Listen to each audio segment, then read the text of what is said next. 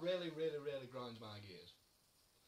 People who keep saying I've got a load of crap around my house. I've got a load of crap around my house, yeah. But it really also grinds my gears when my e-cigarette battery runs out.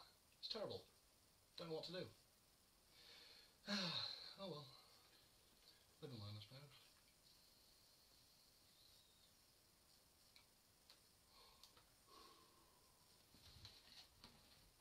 You probably know it as that.